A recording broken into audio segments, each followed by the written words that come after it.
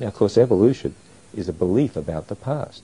It's not science. One of the major pillars of the evolutionary worldview is that in the beginning of time there was matter or nothing, and that from nothing or matter came everything. The common uh, theory regarding the origin of the universe is that matter exploded through a big bang and we have everything which exists. We are told that non-life became life and progressed from atoms to molecules to cells. But think about this for a minute.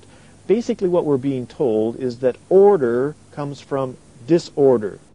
Never anywhere in the world have we ever observed functional complexity coming from disorder by chance. It always takes information to get information. We've never seen a, a machine, if you like, uh, originate by chance. Never seen that happen. Which means ultimately the only thing that makes sense is you have to start with infinite information. In the beginning, God.